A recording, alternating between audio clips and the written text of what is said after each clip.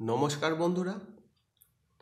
মধ্যকালীন ভারতের ইতিহাসে আমরা এর আগের দিনের ভিডিওতে আলোচনা করেছিলাম ভারতে সুলতানি সাম্রাজ্যের সূচনার কথা।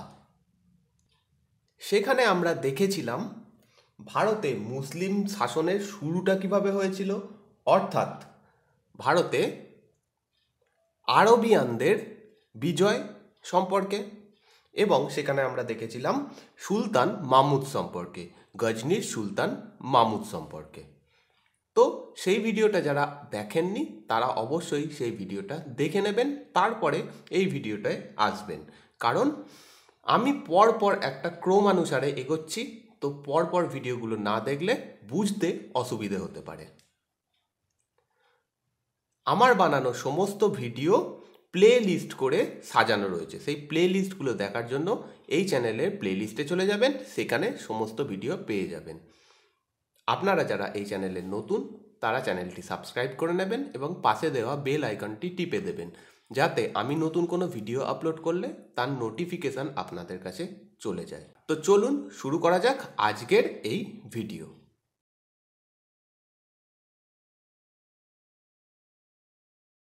আজকের ভিডিওতে আমরা দেখব মোহাম্মদ ঘুরি সম্পর্কে এবং সেই সঙ্গে আমরা দেখব দিল্লির দাস বংশ সম্পর্কে। দাস বংশের সূচনাটা আমরা করব, আস্তে আস্তে আমরা এগোব। তো আজকে আমরা শুরু করব মোহাম্মদ ঘুরিকে দিয়ে। আগের দিনের ভিডিওতে আমরা দেখেছিলাম যে মুসলিম সাম্রাজ্যের তখন কেন্দ্রবিন্দু ছিল গজনি রাজ্য। গজনিকে কেন্দ্র করেই তখন মুসলিম শাসকরা আক্রমণ করছিল বা বিভিন্ন জায়গায় বিস্তার লাভ করছিল। মোহাম্মদ ঘুরির সময় এসে সেই গজনি রাজ্য থেকে কেন্দ্রটা চলে যায় ঘুর রাজ্যে। এই ঘুর রাজ্যের উত্থান সম্পর্কে আমরা দেখব কীভাবে ঘুর রাজ্যটা এগিয়ে এলো। মোহাম্মদ ঘুরি যার আর একটি নাম ছিল মুইজুদ্দিন মোহাম্মদ ঘুরি মুইজুদ্দিন মোহাম্মদ ঘুরি বা আমরা যাকে মোহাম্মদ ঘুরি নামে জানি। তো মোহাম্মদ ঘুরিতে যাওয়ার আগে সেই সময় ওইখানকার অবস্থানটা দেখে নেব। যখন সুলতান মামুদ মারা যান, তখন অবধি তিনি একটা বিশাল সাম্রাজ্য গড়ে তুলেছিলেন, যার মূল ছিল গজনি। এই গজনি রাজ্যটির একদম কাছেই অবস্থিত ছিল এই ঘুর বলে রাজ্যটি। এই ঘুর রাজ্যটি হাজার নয় খ্রিস্টাব্দে মামুদ নিজের সাম্রাজ্যের মধ্যে অন্তর্ভুক্ত করেন, অর্থাৎ গজনির মধ্যে নিয়ে চলে আসেন। তো এই সময় এই ঘুর রাজ্যটা গজনির আন্ডারেই ছিল, গজনির মধ্যেই ছিল। কিন্তু যখন সুলতান মামুদ মারা যান, তখন এই ঘুর রাজ্য নিজে স্বাতন্ত্র হয়ে যায়। এই ঘুর রাজ্যকে স্বাতন্ত্র যিনি করেছিলেন, তার নাম হচ্ছে গিয়াসুদ্দিন মোহাম্মদ ঘুর। গিয়াসুদ্দিন মোহাম্মদ ঘুর এই এই ঘুর রাজ্যটিকে স্বাধীন করে দেন এবং এরপরে ওই গিয়াসুদ্দিন মোহাম্মদ ঘুর গজনি রাজ্যকে আক্রমণ করে। এতদিন পর্যন্ত এই ঘুর রাজ্যটা গজনির আন্ডারে ছিল, কিন্তু যখনই মামুদ মারা যান, তখন এই ঘুর রাজ্য গিয়ে আক্রমণ করে গজনি রাজ্যকে। এগারোশো তিয়াত্তর খ্রিস্টাব্দে তিনি গজনি রাজ্য দখল করে নেন এবং সেই গজনি রাজ্যের অধিষ্ঠাতা হিসাবে তার ভাই মুইজুদ্দিন মোহাম্মদ ঘুরিকে বসান। অর্থাৎ এই মোহাম্মদ ঘুরি ছিলেন গিয়াসুদ্দিন মোহাম্মদের ভাই। তো এই এগারোশো তিয়াত্তর খ্রিস্টাব্দ থেকে ঘুর রাজ্য এখন শক্তির কেন্দ্রবিন্দুতে পরিণত হয়ে যায়। এইখান থেকেই মানে এরপর থেকেই মোহাম্মদ ঘুরি ভারত আক্রমণ শুরু করেন। এবার মোহাম্মদ ঘুরি কেন ভারত আক্রমণ করলেন? মোহাম্মদ ঘুরির ভারত আক্রমণ করার মূল কারণ হচ্ছে ভারত তখন ধন সম্পদে অনেক উন্নত ছিল ধন সম্পদ প্রচুর ছিল ভারতের হাতে। তো সেইগুলো দখল করা একটা প্রথম কারণ ছিল। আর দ্বিতীয়, ভারতের মতো একটা জায়গা যদি রাজত্বটা পাওয়া যায়, যদি ভারতের রাজত্ব পাওয়া যায়, তার সম্মান অনেক বেড়ে যাবে। সেই কারণেই মোহাম্মদ ঘুরি ভারত আক্রমণে মন দেন। আর যে ঘুর রাজ্যটা, এটাই তো তার ভাই, অর্থাৎ মুইজুদ্দিন মোহাম্মদ রাজত্ব করছে। তাই জন্যই মোহাম্মদ ঘুরি এবার ভারত আক্রমণের দিকে মন দেন। তো মোহাম্মদ ঘুরি যখন ভারত আক্রমণ করেন, তখন ভারতের কি অবস্থা ছিল সেটা আমরা একটু দেখব। অর্থাৎ ভারতে কারা কারা রাজত্ব করছিলেন। যেহেতু মোহাম্মদ ঘুরি যদি আক্রমণ করতে চান, তাহলে ভারতের পশ্চিম সীমানা দিয়েই আক্রমণ করবেন। তাই পশ্চিমে কারা কারা রাজত্ব করছিলেন সেটা গুরুত্বপূর্ণ। তো এই সময় সিন্ধ, মুলতান এবং পাঞ্জাব। এই তিনটে জায়গায় মুসলিম শাসকরা রাজত্ব করছিল।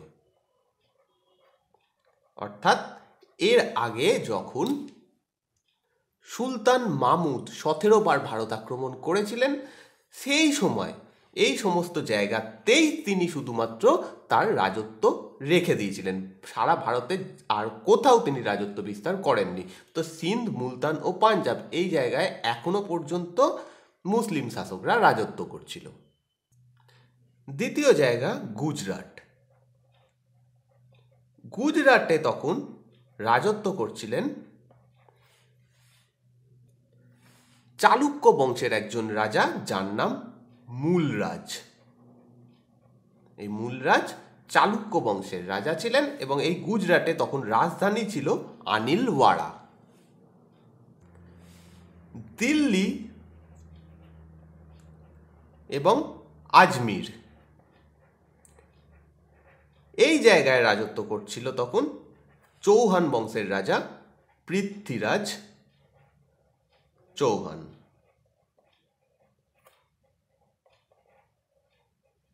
এই পৃথ্বীরাজ চৌহানই তখন ভারতের সব থেকে শক্তিশালী রাজা ছিলেন, যিনি দিল্লি এবং আজমিরে রাজত্ব করছিলেন। আর কনৌজে তখন রাজত্ব করছিলেন জয়চাঁদ। এই ছিল পশ্চিম সীমানার অবস্থা। আমরা সকলেই জানি যে মোহাম্মদ ঘুরির সঙ্গে এই পৃথ্বীরাজ চৌহানের যুদ্ধ হয়। যে যুদ্ধের নাম তরাইনের যুদ্ধ এবং এই জয়চাঁদই পৃথ্বীরাজ চৌহানের বিরুদ্ধে মোহাম্মদ ঘুরিকে সাহায্য করেছিলেন।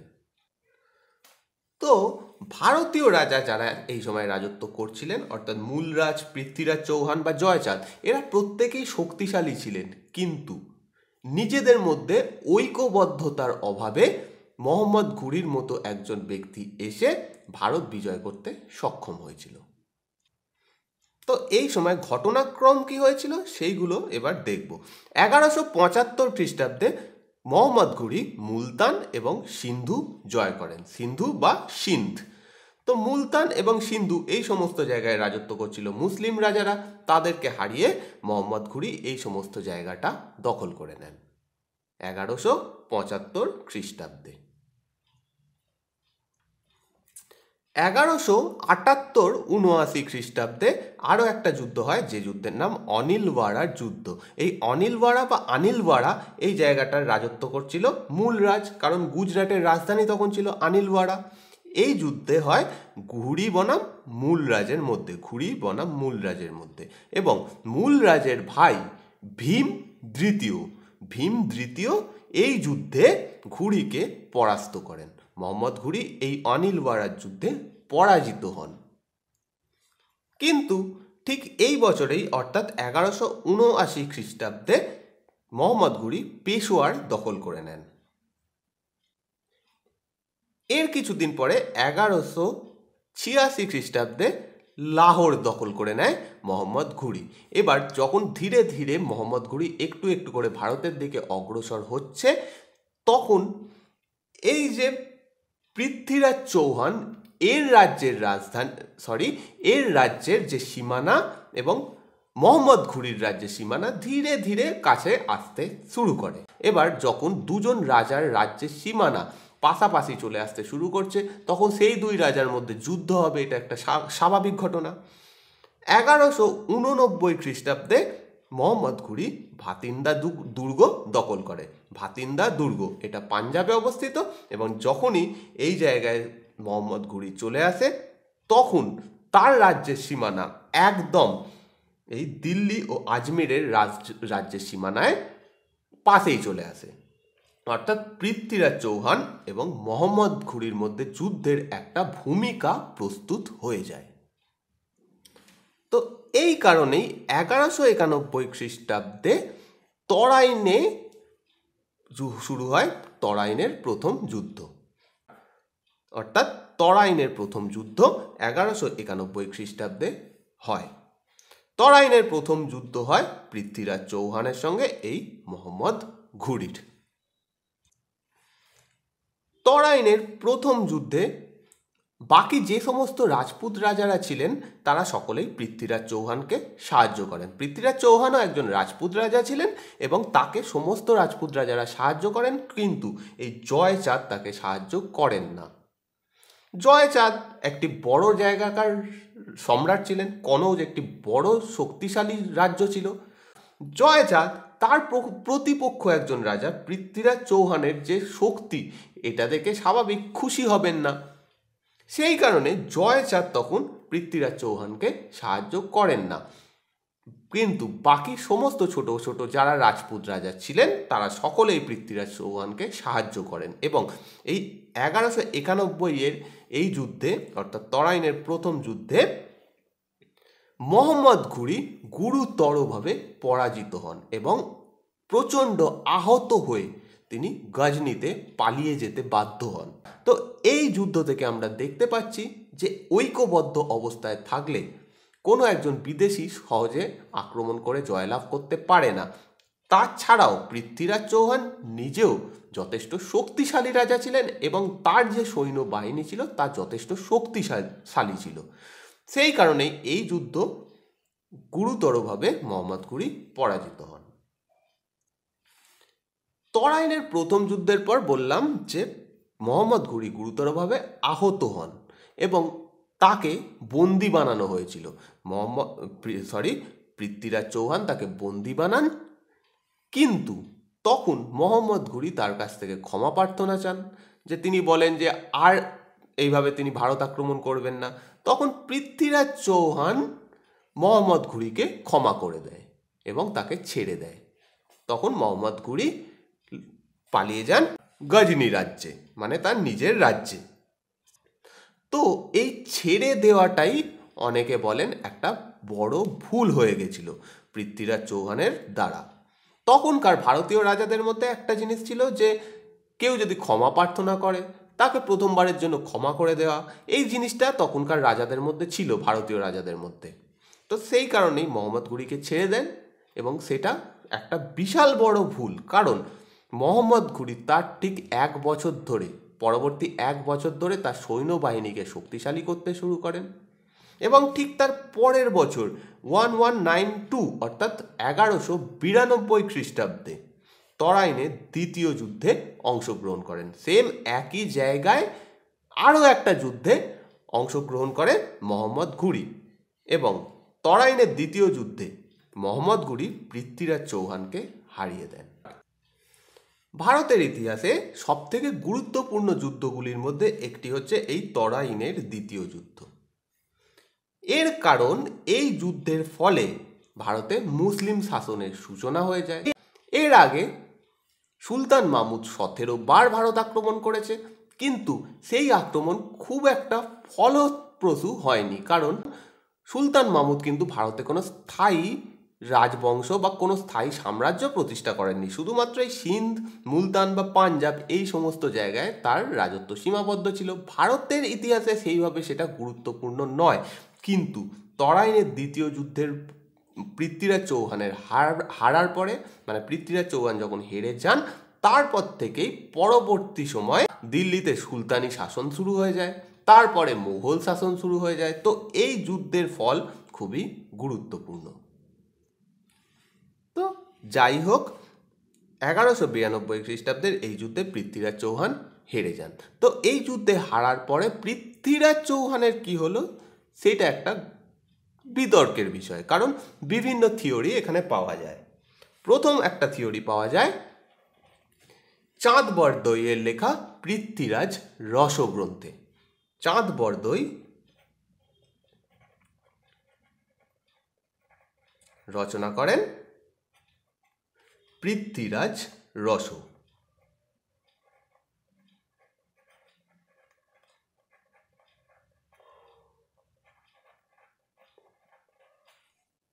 এই পৃথ্বীরাজ রসগ্রন্থে চাঁদ বরদই লেখেন যে এই যুদ্ধের পরে, অর্থাৎ তরাইনের দ্বিতীয় যুদ্ধের পরে, পৃথ্বীরাজ চৌহানকে মোহাম্মদ ঘুরি বন্দি বানান এবং তার চোখ দুটো নষ্ট করে দেন।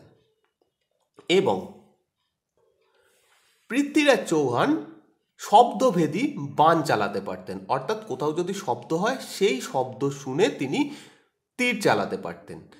তো তো এইটা কীভাবে তিনি করতেন? অর্থাৎ শব্দভেদী বান কি করে মারতেন সেটা দেখার জন্য মোহাম্মদ ঘুরি খুবই উৎসাহ বোধ করেন এবং মোহাম্মদ ঘুরি একটা এরম অনুষ্ঠানের ব্যবস্থা করেন যেখানে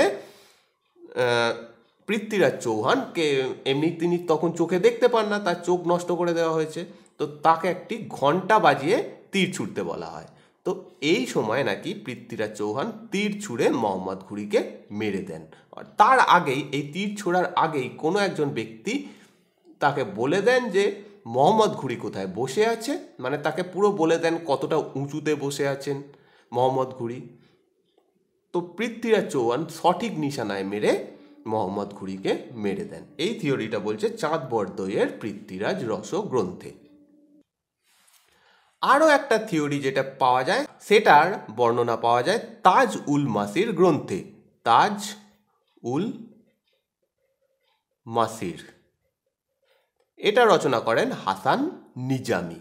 হাসান নিজামি রচনা করেন তাজুল মাসির। এই গ্রন্থে বলা হয়েছে যে, যখন এই যুদ্ধে পৃথ্বীরাজ চৌহান হেরে যান, তখন মোহাম্মদ ঘুরি তখন এই আজমিরে শাসনকর্তা হিসাবে পৃথ্বীরাজ চৌহানকে নিযুক্ত করে যান মোহাম্মদ ঘুরি মোহাম্মদ ঘুরি পৃথ্বীরাজ চৌহানকে হারিয়ে দিয়েছেন। তো তার আন্ডারেই আই, আজমিরে শাসক হিসাবে পৃথ্বীরাজ চৌহানকে বসিয়ে তিনি যান। কিন্তু পরে পৃথ্বীরাজ চৌহান মোহাম্মদ ঘুরির বিরুদ্ধে ষড়যন্ত্র শুরু করেন। মানে তাকে কি করে হারানো যায় সেটা চেষ্টা করতে থাকেন।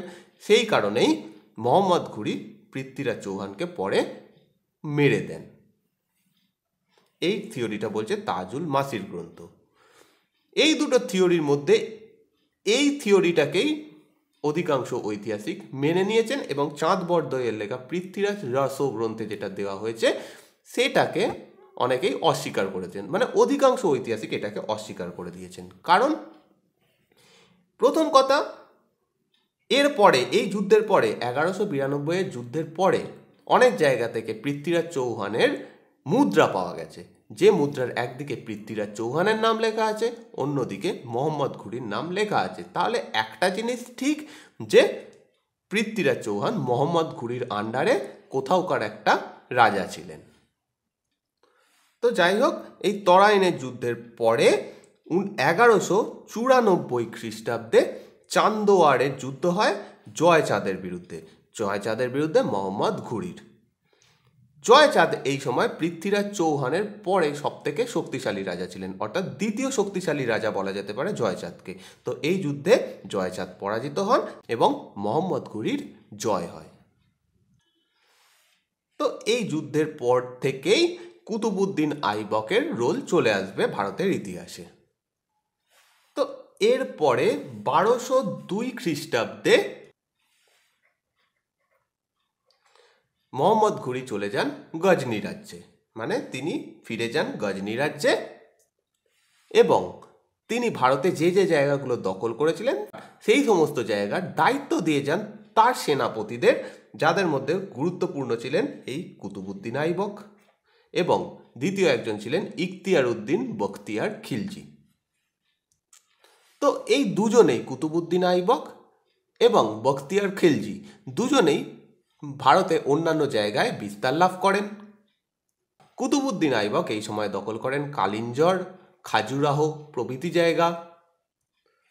অন্যদিকে এই বারোশো দুই খ্রিস্টাব্দে ইখতিয়ার উদ্দিন বখতিয়ার খেলজি, অর্থাৎ মোহাম্মদ ঘুরির আরও একজন যিনি সেনাপতি ছিলেন, তিনি বিহার দখল করেন এবং বিহারের পরে তিনি আমাদের বাংলার দিকে অগ্রসর হন। এই সময়তেই এই ইখতিয়ার উদ্দিন বখতিয়ার খিলজি নালন্দা বিশ্ববিদ্যালয় এবং বিক্রমশিলা বিশ্ববিদ্যালয়কে ধ্বংস করেন। এই দুটি বিশ্ববিদ্যালয়ে তিনি আগুন ধরিয়ে দেন। বহু গুরুত্বপূর্ণ বই মানে পুঁথি নষ্ট হয়ে যায়। তো এটা করেন ইখতিয়ার উদ্দিন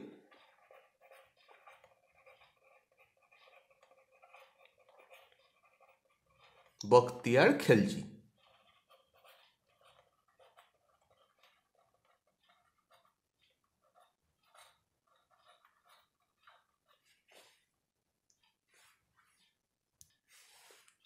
বারোশো চার এবং বারোশো পাঁচ খ্রিস্টাব্দে এই ইখতিয়ার উদ্দিন বখতিয়ার খিলজি চলে আসে বাংলায়।